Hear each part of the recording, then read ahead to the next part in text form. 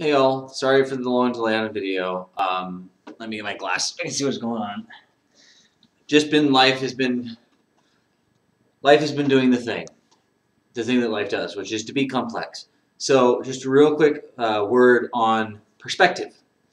I think I've talked about perspective, but I'm inclined to give another story about perspective, and this one real simple. Uh, a while back, as you know, I'm, I'm into medieval martial arts, I'm into melee weapons, armor, the whole nine.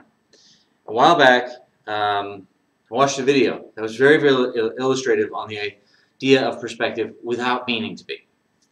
And what it was, was they were testing what uh, armor did for uh, defense against weapons. And they had a pig carcass that they hung up, and they had a couple of them, and they were they were going to show that armor, you know, helped. And they took these spears, about eight feet long, and uh, they hung the pig carcass, and they hung a weight off of it so it wouldn't just swing freely. And they took the spear, threw it at the pig carcass, and the spear transfixed the pig, and uh, the guy went, "Wow, that's you know." That's rough. And uh, the guy said, look, you know, if someone throws a spear at you fairly hard, it's it's it, it may not do like that, you know, go all the way through and stop halfway on the shaft, but it will certainly go through you, um, or at least all the way up to the, the head. You will you will be hating life.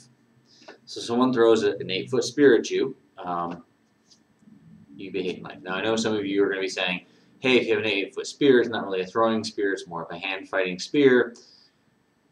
Bear, uh, keep that in mind, that's not what the video was showing. Was showing a spear being thrown, and it transfixed the pig. The next thing they did was they took some chainmail, no padding, just the metal, hung it over the pig, and they threw a second spear, a different pig. And this uh, spear went through the first layer of mail, into the pig, out the back of the pig, and it hit the second layer and it just sort of pushed out, it ballooned it, uh, it tented it, and and that was it. And uh, they went, well, the mail didn't work very well. And he goes, well, it's, it's part of a system. You, you've basically taken it out of its system. Uh, let me show you what it is. And he goes out and gets some fake furs and some tunics. And uh, he puts them on a third pig carcass. And he drapes mail over it.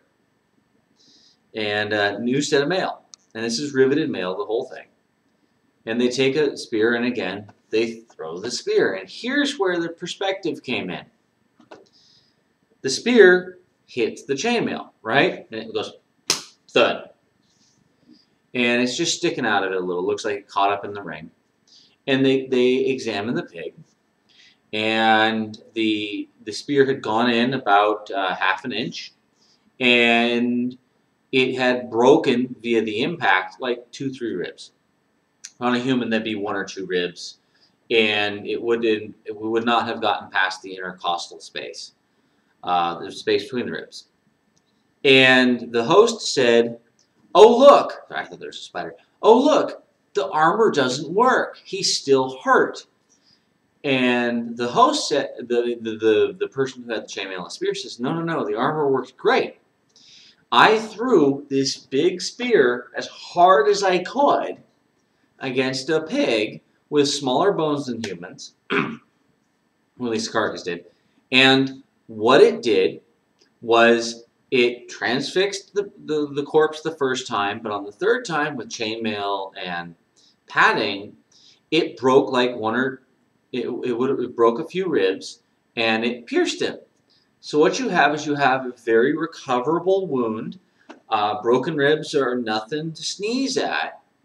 But this isn't a fight-ending injury. This is not you screaming, hitting the ground, going, oh God, oh God, oh God, until someone stabs you. You can still fight.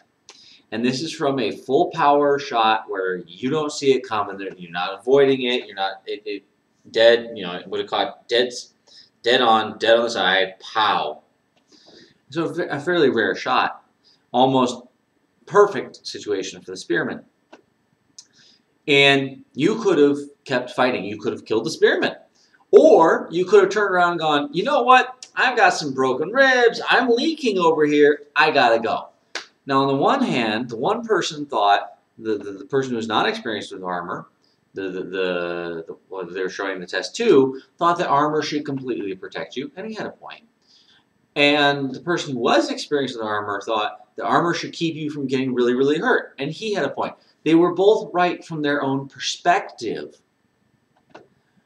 But overall, we can look at history and find out that overall, the man who was throwing the spears, the one who thought that the that anyone wearing that armor who then got hit could probably still fight, is right. Only because you read the histories and you find out that, that people are, are tough, man. You know, you, you break arms and you break ribs, and sometimes people, you know, fall down and stop fighting. Other times they just get really angry and they ruin your life. But this is perspective. This is the same exact test produced the same. That neither man said no. That that was not the result. They both agreed that the re, the spear to the pig carcass did exactly what they said it did, but they interpreted it to mean two different things. One man said the armor doesn't work. The other one said I threw his heart. You know, this was an immensely hard shot, and all the man suffered was a small flesh wound and a broke, you know, couple broken ribs. This is eminently survivable. The armor was great. He was prevented from dying from this very hard blow. Uh, and the first one says, but but but he's he he's he's hurt. He can't fight as well. He's this. He's that. His armor should have protected him all the way. Both of these people are right, and they're both wrong because they're both right from their own perspective. One man thought armor should always protect you. And the other man thought armor can protect you from many things, but some things it can't. However, it can always help reduce the damage. Uh, we you hope. You see, one was sort of a nuanced idea. The other one was either you're the glass is half full or you're dead. But they're both not wrong, and they're both not 100% right. It all depends on your perspective. And I hope you, you can sort of see the metaphor in that. Have a good day. I apologize about the background. Uh, we will be getting a new tapestry. This is our new apartment. Uh, I couldn't get the light to work on the couch, so. Uh, as, as you saw in the previous video, we are we're we're slowly well we're slowly but surely working on decorating the place. Anyway, have a good week, all.